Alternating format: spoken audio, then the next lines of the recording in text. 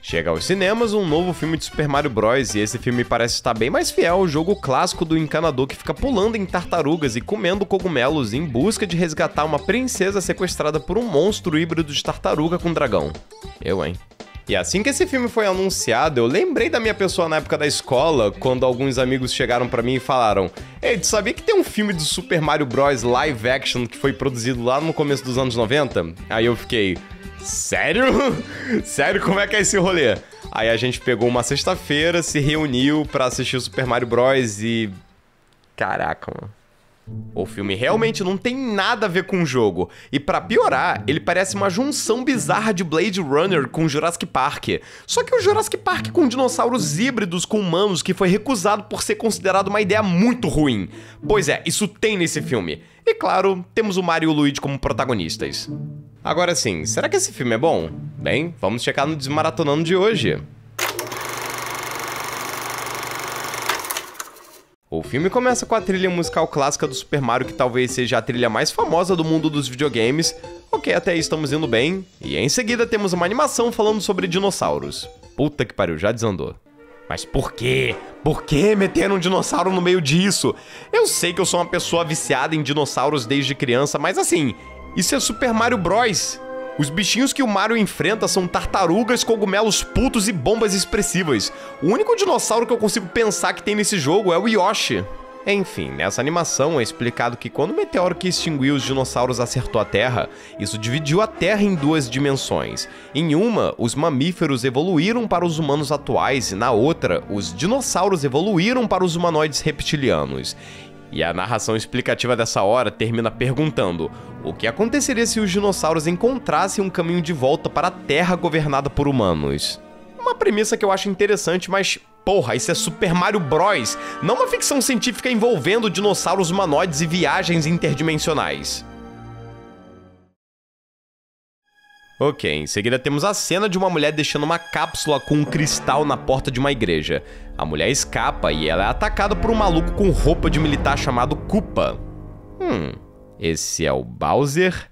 Tá que pariu, esse cara não tem nada a ver com Bowser. É só o Dennis Hopper com um penteado tosco com uma roupa de militar pela saco. Na moral, olha esse comparativo. Ele parece o Bowser? Assim, aquele é chamado de Koopa e não de Bowser, mas se você levar em consideração o manual de instrução do primeiro Super Mario Bros, é dito que o Bowser é rei dos Koopa, então tecnicamente ele é o Bowser.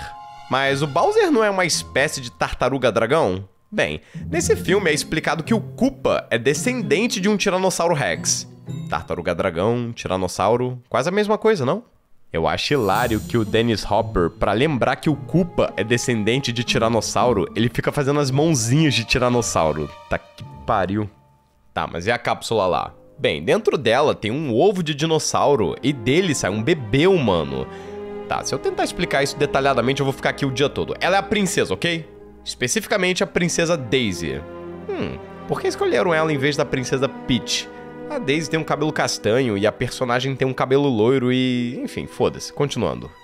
Nos tempos atuais de 1993. Tô velho, hein? Nossos heróis estão vivendo suas vidas na cidade de Brooklyn. Eu gosto da escolha de Bob Hoskins e John Leguizamo como Mario e Luigi. Sei lá, se o Mario e o Luigi existissem na vida real, eu acho que eles iam se parecer com esses dois. Apesar que eu colocaria um bigodinho no John Leguizamo. E uma característica do Mario e do Luigi que a produção definitivamente fez questão de reforçar para o filme é que o Mario e o Luigi são encanadores. E realmente eles são. Nos jogos eles ficam se enfiando em um monte de canos e, bom, eles usam macacões e. encanadores comem cogumelos para focar no trabalho. Enfim, eles tropeçam com a Daisy que estava escavando fósseis de dinossauros perto da ponte de Brooklyn, e Luigi fica gamadão na Daisy e a chama para jantar. Acho que por questão contratual a Daisy fala, ok, e de noite vai gerar o jantar. E olha só, Mario leva até uma namorada para não ficar sozinho. E você que é fã da franquia de Mario deve estar se perguntando: Ah, essa é a Princesa Peach, não é? É, não. De acordo com os créditos do filme, essa é a Daniela. E quem é a Daniela? Sei lá, porra. Depois do jantar, Mario deixa a Daniela em casa, só que ela é sequestrada por esses dois buchas chamados Iggy e Spike dois personagens dos jogos de Mario e, é, de novo, eles não têm nada a ver com a versão dos jogos. Esses dois servem de alívio cômico, e quando eu vi esse filme pela primeira vez, eu lembrei muito do Bulk do Skull de Power Rangers. A dupla atrapalhada que só tá lá pra arrancar uns rarrais da galera que curte uma comédia pastelão. Nice job. Enfim, a missão deles é capturar a Daisy e pegar o cristal que ela carrega em um cordão para que o Koopa consiga juntar as duas dimensões e consiga dominar a porra toda e explorar os recursos da dimensão dos humanoides macacos. É, eles percebem que capturaram a pessoa errada, então partem para capturar a verdadeira Daisy, que tá ocupada demais, mostrando a escavação de fósseis para o Luigi em uma caverna debaixo da ponte do Brooklyn. Um cano fura e a caverna começa a inundar, ameaçando zoar toda a escavação dos fósseis. E aí o Luigi convoca o Mario para usar suas incríveis habilidades de encanador para resolver essa treta. Mario e Luigi arrumam um cano furado, porém Iggy e Spike dão uma paulada na cabeça dos dois e Daisy é capturada. Eles entram em um portal psicodélico, mas Luigi consegue pegar o cordão da Daisy antes dela ser totalmente transportada para a dimensão dos dinossauros humanoides. É, tá aí a missão do jogo. Agora Mario e Luigi precisam resgatar a princesa. Bem, Luigi entra no portal e logo em seguida o Mario. E a viagem dele indo para a dimensão dos dinossauros humanoides é... como podemos dizer? Pô, me deu um flashback de quando eu tava doidão no último Rock in Rio. Pô, foi foda, hein? Porra, mas falando sério, o cara faz uma viagem pela animação psicodélica do Windows Media Player. Aí os dois chegam no mundo Blade Runner dos dinossauros. Esse não deveria ser o reino dos cogumelos onde tudo é coloridinho e quadradão. Ao invés disso, temos um mundo cheio de dinossauros humanoides carregando seus ovinhos em carrinhos de bebês com figurantes do Partoba e... Que porra é essa? Um pornozão em cartaz chamado Eu Era Uma Mamífera Adolescente? Uma véia maluca aparece do nada e mete um fio desencapado no Mario e rouba o cordão com o cristal do Luigi. Mas felizmente a Jojo Todinho rouba o cordão de volta. Mario pede o cordão de volta, mas a moça manda: Vem pegar, mané. E aí ela sai voando com suas botas especiais que tem foguetes que a ideia é explicar a forma de como é que o Mario e o Luigi pulam nos jogos, mas Precisava mesmo dessa explicação? Eu adoro a pose que a doida faz quando ela dá um saltinho com as botas de pulo. Ah, sim, adivinha só. Essa doida é outro personagem dos jogos. Ela é a Big Bertha. Tá que pariu. Você tá me dizendo que essa mulher aí é um grande peixe carnívoro? Imagina como foi quando convocaram essa atriz para o papel. Então, você vai ser a adaptação de um peixe gigante carnívoro. Mas eu vou ser um peixe? Não. Eu vou comer alguém? Não em cena, mas você vai dar uns saltos com umas botas a jato. Fechou, bora. Depois de perder o cristal, Mario e Luigi estão lá sentados na rua com cara de coitados até que outro personagem do jogo aparece para animar as coisas.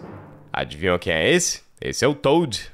O cogumelo revoltado que fala um monte de merda naquele desenho antigo do Mario. Pelo amor de Deus, para! Se Deus quiser, agora ela cala a boca. Todo mundo quer ir pro céu, mas ninguém quer morrer. E de novo, porra, esse cara não tem nada a ver com Toad. Ao menos dava para ele um chapéu parecido com um cogumelo, ou um penteado parecido com um cogumelo. Que porra de corte de cabelo é esse? Mas pelo menos ele tá melhor do que sua arte conceitual proposta pro filme. Ele ia ter mó cara de rola com fimose. Enfim, ele tá lá cantando uma música contra o governo Culpa e é preso. Mario e Luigi também são presos por carregar ferramentas de encanadores é, até que isso não é tão ruim assim. Aqui onde eu moro, a polícia matou um cara que tava com uma furadeira, então agradeçam por estarem vivos. Na delegacia descobrimos algo interessante. Sabe por que, que eles se chamam The Mario Brothers? Porque o último nome dos dois é Mario.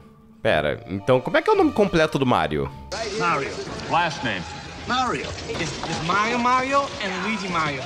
Ah, claro. Como é que eu pude não perceber isso? Outra coisa que descobrimos é que o fungo que está por toda a cidade é o antigo rei que foi desevoluído. E aí ele tá cagando toda a cidade com seu fungo para se vingar do culpa. Então foi daí que os criadores do The Last of Us tiraram mais ideias, né? Tá, então meio que tá explicado o porquê desse mundo se chamar o Reino dos Cogumelos, eu acho. Essa ideia de ter fungo por toda a cidade só me faz querer ver o monstrão lá de The Last of Us contra um desses dinossauros humanoides do filme que mas que porra é essa? Eu não sei se isso é aterrorizante demais ou estupidamente hilário. Tá, deixa eu tentar explicar isso aí.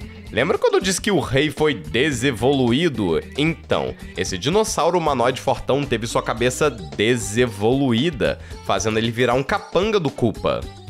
Hum, então isso seria um Koopa Trooper, né? A tartaruguinha. É, não. Isso aí é um Goomba. E para você que desconhece os jogos, o Goomba é um cogumelo com cara de putaço. Agora, aonde essa porra é um cogumelo com cara de putaço? Eu tô putaço vendo isso. Isso é um dinossauro com microcefalia. E outra, o cara que foi transformado nisso aí é o Toad. Não era pra ele ter virado, sei lá, um fungo que nem o rei?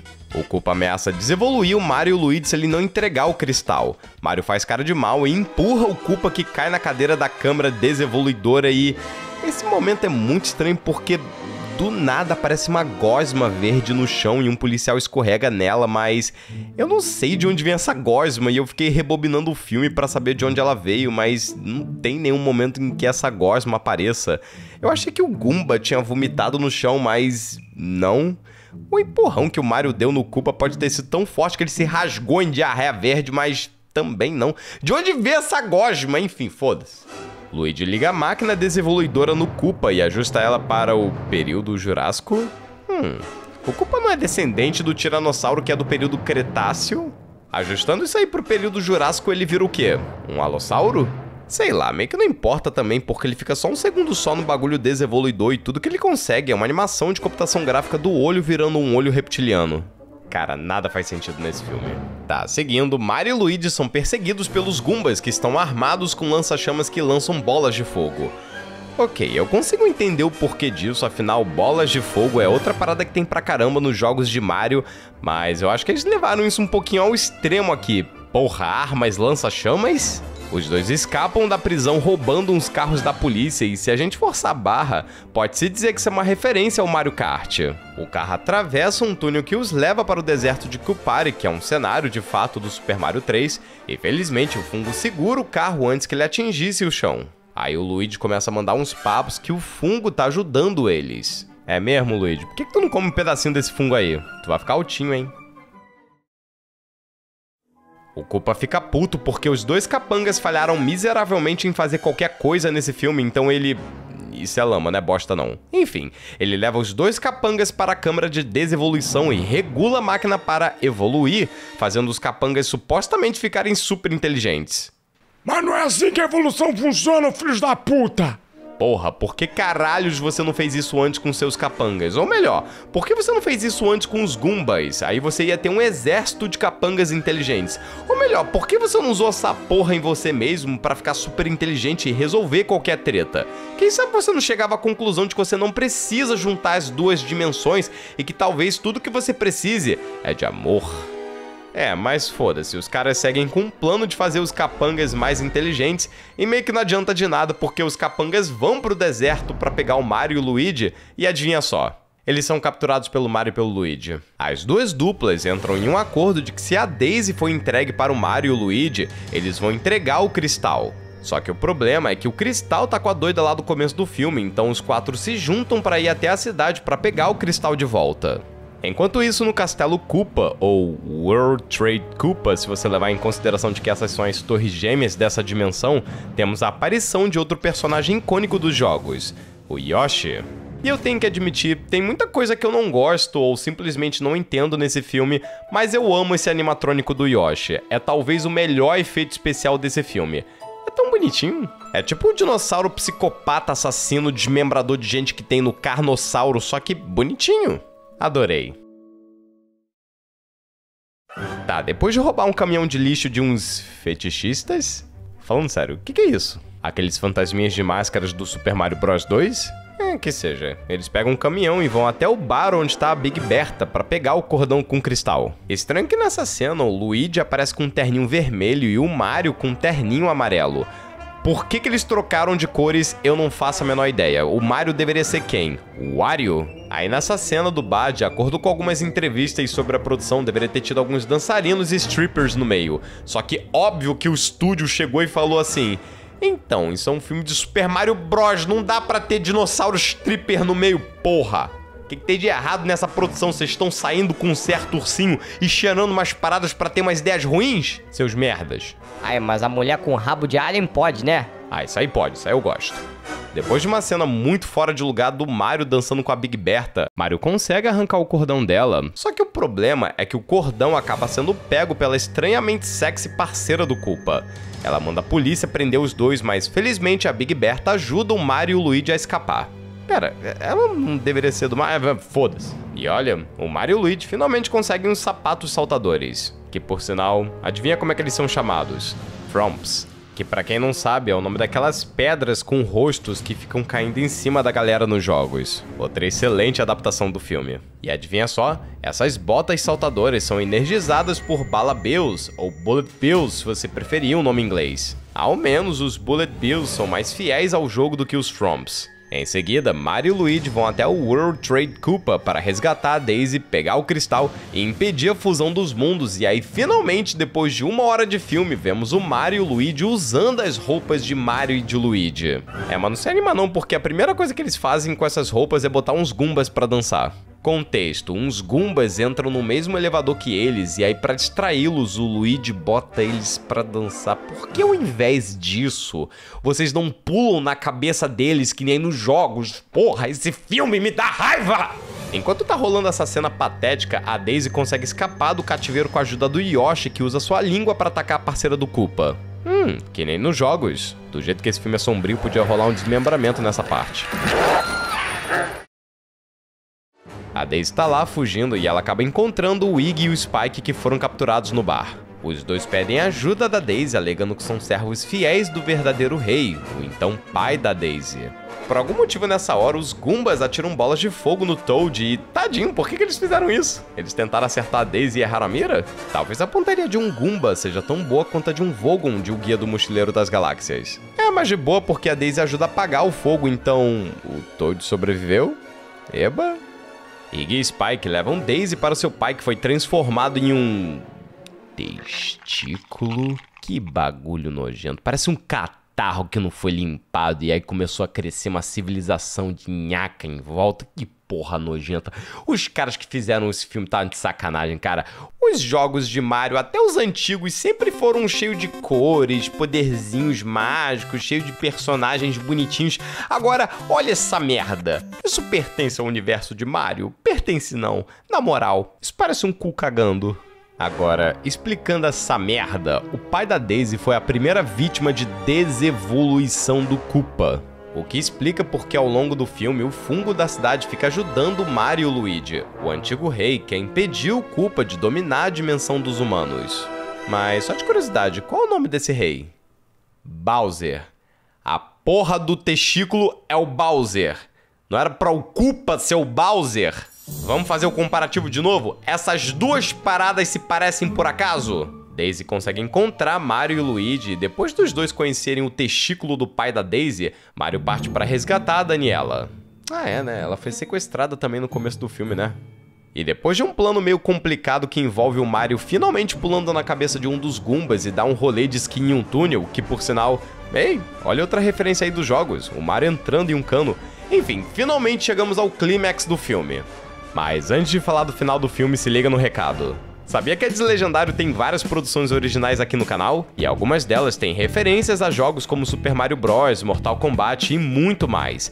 Então, se você curte essas paradas e tá com tempo livre querendo ver alguma parada para se divertir, por que não dar uma checada nos projetos da Deslegendário? Garantido que você vai se divertir. Ou não. Dá uma olhada e tire suas próprias conclusões. Enfim, seguindo com Super Mario Bros, Mario enfrenta a culpa lançando suas botas a jato em todo mundo enquanto ele revida com bolas de fogo. E nesse momento, Mario usa uma Bomb, a parada mais fiel aos jogos que aparece no filme. Eu já vi muita gente falar que, aê, finalmente uma parada fiel ao jogo, só que, porra, é uma Bomb, é uma bombinha com pés, não dá pra fazer algo muito diferente disso. O filme todo fica o Rei Testículo tentando dar uma bomb pro Mario e o Luigi, e finalmente o Mario usa esse negócio no duelo final. Ô oh, merda. A parceira de Koopa acaba pegando o pedaço do cristal e ela o conecta no meteoro, fazendo com que as dimensões comecem a se fundir e. Ah lá, morreu. Isso não era um filme de criança? Mario, Koopa e alguns Goombas são transportados para a Terra, e lá eles percebem os efeitos da fusão das dimensões. Hum, Envelheceu mal, hein? Eu não sei o que, é pior, o fato de que se você der um zoom nesse take dá pra ver um... É, e logo em seguida um maluco fala, o que, que essa galera não faz por publicidade? Ô inocência, tudo errado, tudo errado, ô cena problemática. Por falar em tudo errado, o Koopa usa uma arma de desevolução e um engravatado, fazendo ele virar um chimpanzé? Olha, os seres humanos de fato vieram de primatas primitivos, mas não de chimpanzés. Por que não colocaram um maluco com roupa de macaco tipo em 2001 Uma Odisseia no Espaço ou naquele episódio maravilhoso do Bob Esponja? Ah, e uma curiosidade, a arma desevoluidora do Koopa é um Nintendo Scope pintado, tá outra referência do mundo dos jogos. Luigi e Daisy conseguem tirar o cristal do meteoro, e aí o Mario, o Koopa e os dois bisonhentos são transportados de volta. Mario e Luigi conseguem duas armas desevoluidoras e disparam em Koopa que se transforma no... Lord Voldemort? E lembra do Bomb que o Mario usou mais cedo e que tinha falhado? Então, a bombinha fez toda uma jornada até parar debaixo do Koopa. Aí ela explode. O Koopa podia ter morrido aí, mas ele aparece novamente em sua forma de... Dinossauro de Chernobyl. Essa é pra galera que queria algo minimamente parecido com Bowser. E aí, ficou bom? Mario e Luigi continuam a desevoluir o monstrão até ele virar um... Mano... Pega esse frame do filme e mostra para qualquer pessoa e vê quanto tempo ela demora para adivinhar que esse é um frame do filme do Super Mario Bros. Que caralho aterrorizante. Eu não tô nem zoando. Imagina algum dia tu tá andando na rua de noite e de repente tu vê essa porra no meio do caminho. É, mas eu acho que acabou o orçamento de efeitos especiais e o culpa só vira um vomitão verde mesmo. Aí pronto, resolveu a treta, culpa foi derrotado, todos comemoram, apesar de aparentemente do nada todo mundo ficou contra o culpa, mas ok. E até o antigo rei do nada volta ao normal e olha que surpresa! É o Lawrence Harrison. Sim, o androide Bishop de Aliens é o rei Bowser. É, só para completar a bizarrice aleatória desse filme. Mario e Luigi, antes de ir embora, se despedem de Yoshi e Daisy, que ficam no mundo para tomar conta dessa porra toda. É, foda-se. Olha o Yoshi, que bonitinho. Tchau, tchau, melhor efeito especial desse filme. Ah, sim, eu só queria pontuar que eu acho hilário que ninguém se deu o trabalho de tirar o esqueleto da parceira do Culpa de lá. Ah, boa decoração. Enfim, três semanas depois, tudo meio que volta ao normal. Mario e Daniela estão lá fazendo um rango brabo, Luigi tá lá vendo uns programas dos anos 90 e até o jornal noticia que os dois são heróis. Então, tudo certo, né? Final feliz? É, não exatamente. A Daisy chega chegando com um lança-chamas e manda um Aê, vamos fazer uma sequência? Não! É, pois é, o filme tem um gancho para uma sequência que óbvio que não foi feita, porque esse filme é um desastre. Os críticos detestaram, os fãs dos jogos detestaram, os atores que participam dele detestaram. Sério, o Bob Hoskins, o ator que fez o Mario, falou que foi o trabalho mais deprimente da sua carreira. E reza a lenda de que ele e o John Leguizamo ficaram bêbados para conseguir gravar as cenas.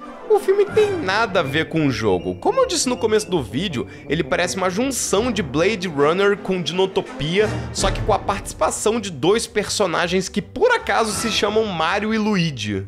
Honestamente, essa ideia do meteoro que atingiu a Terra e dividiu ela em duas dimensões, uma com dinossauros e outras com mamíferos, eu acho interessante, afinal eu gosto dessas paradas surtadas. Eu consigo imaginar umas boas histórias saindo disso, mas isso é Super Mario. Não é porque nos anos 90 teve a doença da dinomania e porque nos jogos tem um dinossauro chamado Yoshi que a adaptação do jogo no cinema tem que ser um Jurassic Park interdimensional. Conclusão: o filme é uma boa lenda urbana, sabe? Ah, sabia que lá no começo dos anos 90 teve esse filme live action do Super Mario Bros? Ao menos foi assim que eu conheci esse filme. Mas no fim das contas, esse filme é uma merda. E provavelmente ele vai cair no esquecimento, principalmente agora que saiu esse novo filme, que só o pôster já é infinitamente mais fiel ao jogo do que esse filme de 93. Mas esse filme vai ser para sempre uma obra interessante dos anos 90. A primeira adaptação de um jogo para os cinemas que ficou uma merda. Mas espera, tem mais uma coisa interessante no final. Temos uma cena pós-crédito que, para mim, quase conseguiu conectar esse filme com os jogos. Dois empresários japoneses chegam na casa do Mario e falam que querem fazer um jogo dos dois. Aí você pensa, ah, por isso que o filme é tão diferente dos jogos. Esse mundo sombrio e macabro foi adaptado para os jogos do Mario. Só que os empresários estão na real falando com o Iggy e o Spike. Puta que pariu. O bagulho já não fazia o menor sentido. Agora então, se fosse hoje em dia, esse pós-crédito seria uma convocação do Mario e do Luigi pro Super Smash Bros. Mas e aí, você já conhecia esse filme do Super Mario Bros? Você curte esse filme ou você acha uma merda também? O que, que você achou dos Goombas, os dinossauros humanoides de cabecinha pequena? E já que a gente tá falando de Mario, e aí, você assistiu o novo filme do Super Mario Bros? O que, que você achou do novo filme? Pega esse monte de respostas, joga aí nos comentários e, como sempre, vamos trocar a famosa ideia.